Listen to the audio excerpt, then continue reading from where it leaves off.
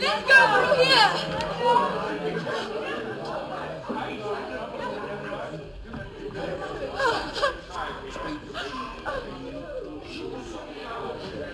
You remember this room, Maminka?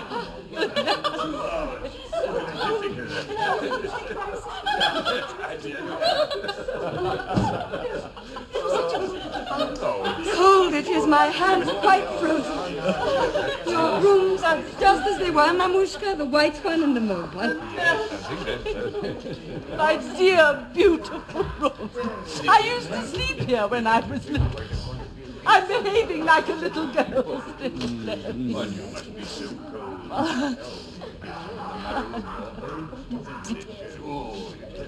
And Varya still looks like a nun. Just the same. Just as she always did. And I recognized Dunyasha at once. Their train was two hours late. What do you think of that? Terrible state of affairs. Always... My dog even eats nuts. Goodness gracious, think of that. Oh, well, I never. Come this way. What happened? I don't know. We were waiting.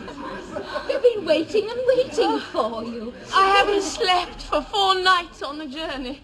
I'm frozen. Well, it was Easter when you went away. Now, there was snow then and frost. But now...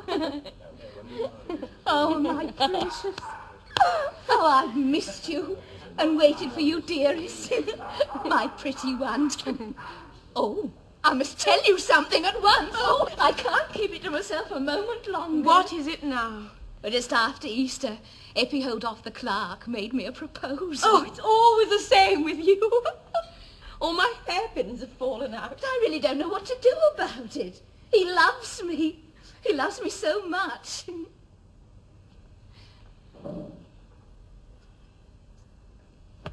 My own room. My window. Just as if I'd never been away. I'm home. I shall wake up and run into the garden. Oh, if only I could get to sleep. I never slept all through the journey. I was so anxious. Pyotr Sergeyevich arrived the day before yesterday.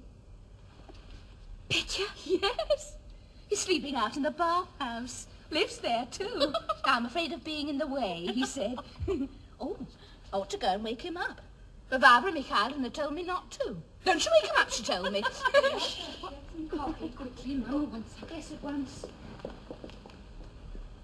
Well, thank God you've arrived. You're home again. Oh, You're really here, my darling.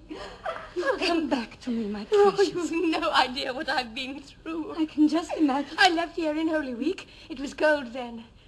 And Charlotta would keep chattering all the time and showing off her conjuring tricks.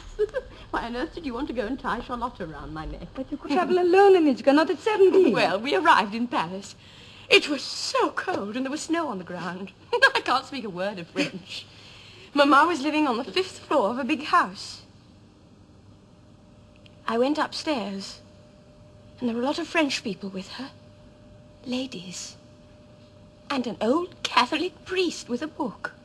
The room was full of tobacco smoke and very uncomfortable. I suddenly felt sorry for Mamma. Oh, so sorry. I took her face in my hands and couldn't bear to let her go. Mamma kept on kissing me and crying. Don't, don't.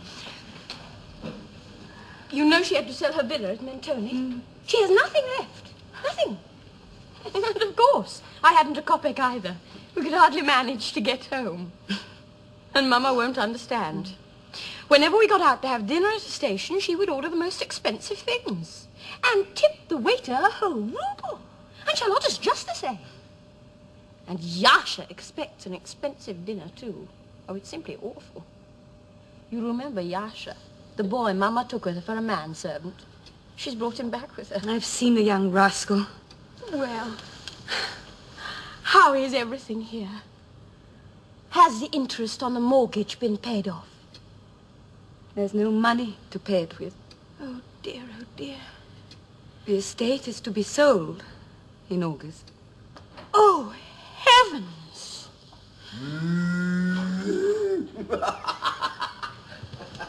I'd like to. Father, has he proposed to you yet? Oh, why? But I'm sure he loves you. Why don't you come to an understanding? What are you waiting for? I don't think it will ever come to anything. He has a lot to do. He has no time for me. He doesn't even look at me. May God bless him. But I'd rather not see him. It makes me miserable. Everyone keeps talking about our wedding. Everyone keeps congratulating me, and really there's nothing to it. It's just a dream. You've got a new brooch like a bee. Yes. Mama bought it for me. oh! When I was in Paris, I went up in a balloon! My darling is home again. You know, all day long as I'm going about my housework, I dream and dream. I think, if only we could marry you to some rich man, then my mind would be at rest. I'd go away somewhere, to a holy place, to Kiev, to Moscow. I'd go on and on from one holy place to another. What a wonderful life. What happiness. The birds are singing in the garden. What time is it? It must be after four. Time you were asleep.